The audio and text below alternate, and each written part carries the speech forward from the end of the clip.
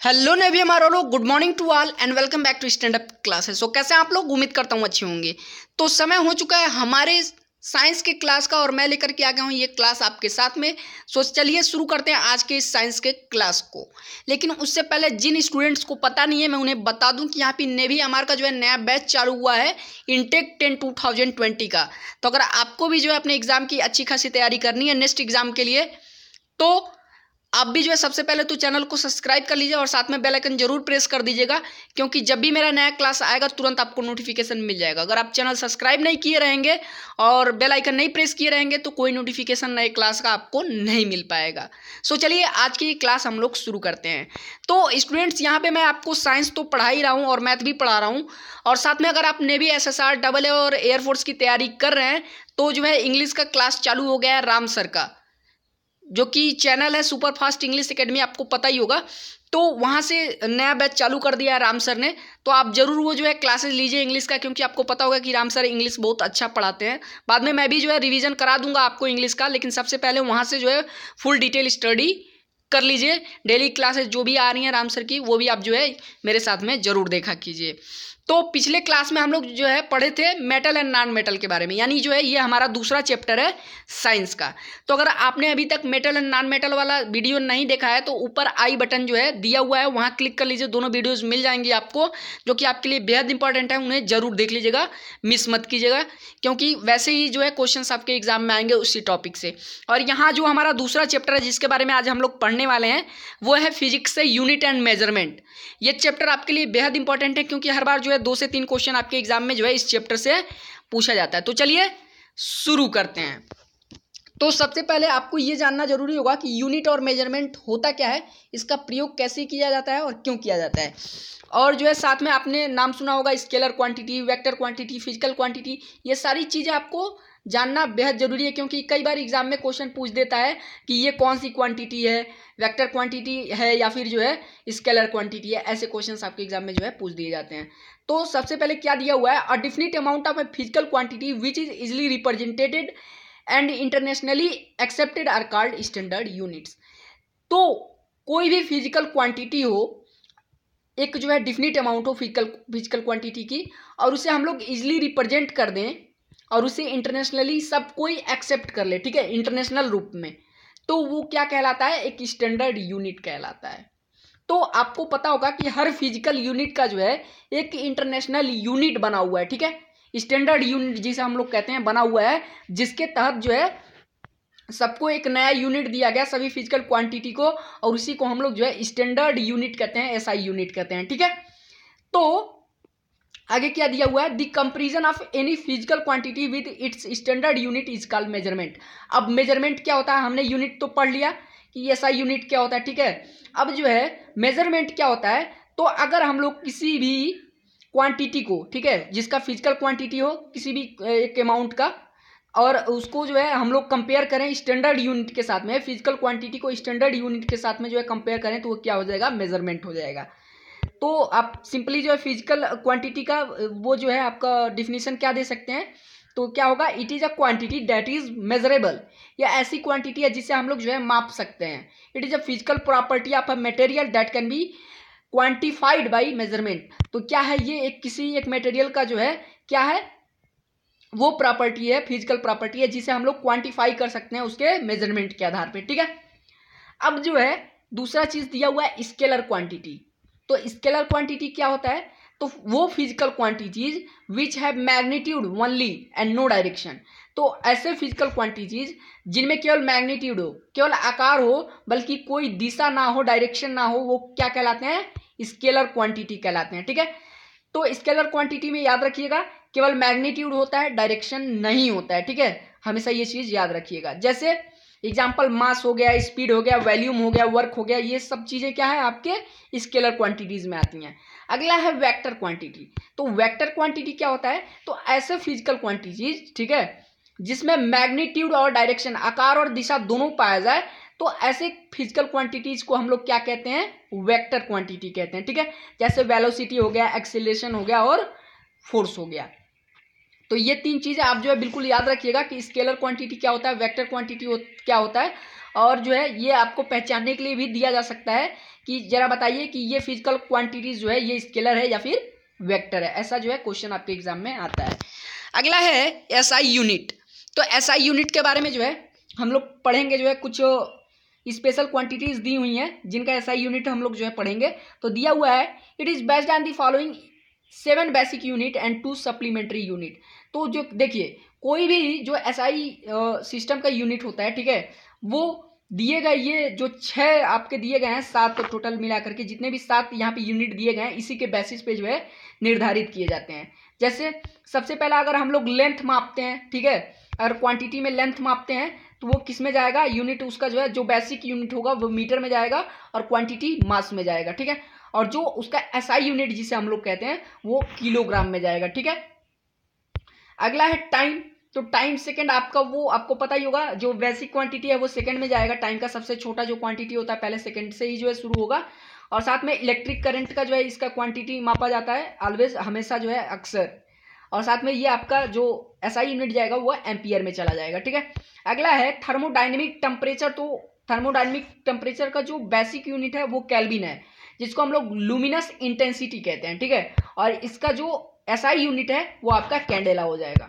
अगला है amount of substance किसी भी सबस्टेंस का अमाउंट तो आपने मोल पढ़ा होगा केमिस्ट्री में, ठीक है? जैसे पता करना होगा कि एक मोल में कितने एटम्स होते हैं, ऐसा आपको जो दिया जाता है निकालने के लिए तो वो अमाउंट पता किया जाता है किसी भी सब्सटेंस का मोल के थ्रू तो बेसिक यूनिट क्या होगा उसका? मोल होगा, इसका ऐसा यूनिट नहीं है ठीक है? अगला है सप्लीमेंट्री यूनिट जो आपने बताया था, जो हर जगह जो है लागू होता है, वो प्लेन एंगल का होगा रेडियन इसका बेसिक यूनिट है, और सॉलिड एंगल इसका जो है क्या क्वांटिटी है, और साथ में स्टेरिडियन ठीक है? ये आपका ऐसा यूनिट हो जाएगा प्लेन एंगल का। उसके बाद है, कुछ इंपॉर्टेंट डेरिवेटेड यूनिट है, जिसे डिराइव किया गया है, ठीक है? जैसे उन्हीं फार्मूले से डिराइव किया गया जैसे वेलोसिटी आप लोग यूज़ हमेशा करते हैं तो इसका ऐसा यूनिट क्या है? मीटर प्रति second whole to the power minus one, ठीक है? और इसका क्वांटिटी फोर्स है, और साथ में एस आई यूनिट जब फोर्स के साथ में निकालेंगे टोटल ठीक है वेलोसिटी का तो क्या हो जाएगा? के जी मीटर पर second whole to the power minus two, या फिर न्यूटन, सिंपली आप लोग कह सकते हैं। तो वेलोसिटी का एस आई यूनिट क्या होता है? न्यूटन। अगला है एक्सिलेशन बिल्कुल ध्यान से देखते हुए चलिएगा, ठीक है? कोई भी पॉइंट आपसे मिस नहीं होना चाहिए। अगर नहीं समझ में आता है तो आप लोग कमेंट कर दीजिएगा। मैं एक बार फिर से इसी चीज़ पे जो है वीडियो बना दूँगा, लेकिन समझ में आपको आना चाहिए। ये नहीं है कि समझ में नहीं आया, अगला चैप्टर पे हम लोग जो है बढ़ गए। तो एक्सिलेशन जो होता है, उसमें मीटर प्रति सेकेंड जो है होल टू दी पावर होता है इसका ऐसा यूनिट माइनस टू होता है whole to the power work का जो है इसका क्वांटिटी है तो वर्क के साथ में जब इसको मिक्स करेंगे तो ये जो इसका ऐसा यूनिट होगा, वो होगा आपका जूल हो जाएगा, ठीक है? अगला है कैप्सिटेंस फेराइड है ऐसा यूनिट रेजिस्टेंस इसका क्वांटिटी है और ओम से इसे हम लोग जो है दर्शाते हैं ऐसा यूनिट के थ्रू में, ठीक है? उसके बाद जो है हम लोग कुछ इंपॉर्टेंट चीज़ें और देख लेते हैं। तो जो हमारा अगला इंपॉर्टेंट चीज़ है वो है मेजरिंग इंस्ट्रूमेंट्स तो मेजरिंग इंस्ट्रूमेंट्स के बारे में जानना बेहद ज़रूरी है क्योंकि हर बार जो है एग्ज़ाम में मेजरिंग इंस्ट्रूमेंट्स के बारे में पूछा जाता है कि कौन सा इंस्ट्रूमेंट जो है क्या मेजर करने में प्रयोग किया जाता है। तो सबसे पहले क्या दिया? एमीटर हमेशा पूछा जाता है, अक्सर पूछा जाता है, ठीक है? तो ammeter is a device use to measure the strength of electric current तो इलेक्ट्रिक करंट की जो है, कितना स्ट्रेंथ है इलेक्ट्रिक करंट में, ये मापने के लिए जो है एमीटर का प्रयोग किया जाता है। इलेक्ट्रिक करंट का जो है स्ट्रेंथ ठीक है? मापने के लिए एमीटर का प्रयोग किया जाता है। अगला है बैरोमीटर तो बैरोमीटर एटमॉस्फियरिक प्रेशर ठीक है? तो जो वायुमंडल का जो प्रेशर है, उसको मापने के लिए बैरोमीटर का प्रयोग किया जाता है। एटमॉस्फियर का जो पूरा प्रेशर है। अगला है hygrometer hygrometer humidity in air ठीक है? ह्यूमिडिटी का हिंदी मीनिंग क्या होगा? नमी। तो हवा में जो नमी होती है, ठीक है, उसको, जिसे हम लोग मॉइस्चर भी कहते हैं, उसको मापने के लिए किसका प्रयोग किया जाता है? हाइग्रोमीटर का। किसका? हाइग्रोमीटर ठीक है? याद कर लीजिएगा। अगला है हाइड्रोमीटर वो तो हाइग्रो था, ये हाइड्रो है। तो hydrometer is the instrument use to measure the density or relative density of a liquid तो हाइड्रोमीटर का प्रयोग किस लिए किया जाता है? लिक्विड का जो है डेंसिटी मापने के लिए। किसका? लिक्विड का डेंसिटी मापने के लिए या फिर रिलेटिव डेंसिटी मापने के लिए। ठीक है? अगला है पायरोमीटर। तो पायरोमीटर का प्रयोग क्यों किया जाता है? Measure to, measure the temperature of a body by measuring the radian by emitted body. अब क्या करता है पैरोमीटर ठीक है? पहला तो आप थर्मोमीटर यूज़ करते हैं बॉडी टेम्परेचर मापने के लिए, लेकिन जो ये पैरोमीटर होता है, ये क्या करता है? ये आपके जो बॉडी से जो रेडियन निकलते हैं, ठीक है? रेडिएशन जो बाहर आता है, उसे क्या करता है? ये सबसे पहले उन्हें मेजर करता है और जो रेडिएशन निकलते हैं, उन रेडिएशन को मेजर करने के साथ साथ ये बता देता है कि बॉडी का टेम्परेचर कितना है, ठीक है? तो फाइनली जो है हम लोग कह सकते हैं पैरोमीटर का प्रयोग बॉडी टेम्परेचर मापने के लिए जो है किया जाता है। अगला है पैरिस्कोप। तो पेरिस्कोप जो है is use to view objects above sea level तो सी लेवल से ऊपर जितने भी ऑब्जेक्ट्स होते हैं, उन्हें देखने के लिए पेरिस्कोप का जो है प्रयोग किया जाता है। रिस्टर स्केल जो, काफ़ी फ़ेमस नाम है। रिस्टर स्केल के बारे में आप लोगों ने सुना ही होगा। तो इसका जो है, ये क्या किया जाता है? जो अर्थक्विक आता है, वो उसकी क्वांटिटी कितनी होती है, ठीक है? कितनी गति से आता है, उसको मापने के लिए जो है अर्थक्विक का सॉरी रिस्टर स्केल का जो है प्रयोग किया जाता है अर्थक्विक के जो है क्वांटिटी को मापने के लिए। अगला है magnitude the earthquake magnitude determined by using semi seismography तो ये क्या करता है? देखिए अर्थक्विक के ये क्वांटिटी को दर्शाता है, ठीक है रिस्टर स्केल और अगर साथ में मैग्नीट्यूड की बात कर लें अर्थक्विक का अगर मैग्नीट्यूड पता करना हो तो वो कैसे होता है? सेस्मोग्राफी के थ्रू होता है, ठीक है? सेस्मोग्राफ जिसे हम लोग सेस्मोग्राफी भी कहते हैं सेस्मोग्राफ ऐसे जो जो जब अर्थक्विक आता है ना तो ऐसे पेन टाइप में उसमें होता है पेन होता है तो ऐसे ग्राफिक्स ऊपर नीचे करता है कि कितना जो है अर्थक्विक कितना तीव्र था या फिर कितना जो है धीमा या फिर तेज था ऐसे। अगला है स्पीडोमीटर तो स्पीडोमीटर का प्रयोग किस लिए किया जाता है? ये जो है व्हीकल्स में लगाया जाता है स्पीड मेजर करने के लिए। ठीक है? गति मेजर करने के लिए लगाया जाता है। उसके बाद है, जो सबसे इम्पोर्टेंट टॉपिक है हमारे लिए इस क्लास का, वह है कुछ बेहतरीन इन्वेंशंस और उनकी डिस्कवरर ठीक है? तो जो इन्वेंशंस हुए थे डिस्कवरीज हुई थी, और किन्होंने किया था, ये सारी चीज़ें जो है यहाँ पे हम लोग जानेंगे, क्योंकि अक्सर जो है ऐसे क्वेश्चंस आपके एग्ज़ाम में हर बार पूछे जाते हैं। तो सबसे पहला है बैरोमीटर। तो बैरोमीटर का जो है आविष्कार किसने किया था? Evangelista Torricelli. सोलह में हुआ था। कहाँ पे हुआ था? Country Italy. अगला स्टीम इंजन, जिसे हम लोग पिस्टन स्टीम इंजन का जो पिस्टन होता है, उसका जो है इन्वेंशन किया था थॉमस न्यू कॉमेन ने, ठीक है? ये सत्रह सौ बारह में हुआ था ब्रिटेन में। अगला है स्टीम इंजन, कंडेंसर, जिसे कहते हैं जेम्स वाट। स्टीम इंजन आपको पता ही होगा स्टीम इंजन का जो है, जो इन्वेंटर है, वो है आपके जेम्स वाट। सत्रह सौ पैंसठ में हुआ था ब्रिटेन में। अगला है बाईफोकल लेंस बाईफोकल लेंस के बारे में आपको पता ही होगा। तो बाईफोकल लेंस का इन्वेंटर कौन है? बेंजामिन फ्रैंकलिन 1780 में यूएसए में। अगला है टेलीग्राफ टेलीग्राफ किसने किया था? यम लेमोंड सत्रह में फ्रांस में। अगला है बैटरी जो इलेक्ट्रिक करंट वाली बैटरी होती है। अलिसिंड्रो वोल्ट्रा 1800 में हुआ था इटली में। अगला है ट्रांसफार्मर तो ट्रांसफार्मर का आविष्कार किसने किया था? Michael Faraday 1831 Britain. सब याद करते हुए चलेगा डियर अगला है गैल्वेनोमीटर तो गैल्वेनोमीटर का जो है इन्वेंटर कौन है? एंड्री मैरी एम्पियर अट्ठारह में, फ्रांस में। अगला है टेलीफोन, अलेक्जेंडर ग्राहम वेल अट्ठारह में, यूएसए। अगला है इलेक्ट्रिक मोटर, जिसे एसी जो है एसी करंट वाला जो इलेक्ट्रिक मोटर आता है निकोला टेस्ला ने किया था अट्ठारह यूएसए। अगला है टेप रिकॉर्डर फेसिडन पाउलसन अट्ठारह डेनमार्क अगला है loud speaker Horace Short 1900 Britain. अगला है एरोप्लेन। तो ये आपको पता ही होगा Orville and Wilbur Wright brothers जो थे, ठीक है? 1903 में यूएसए। उसके बाद है रडार।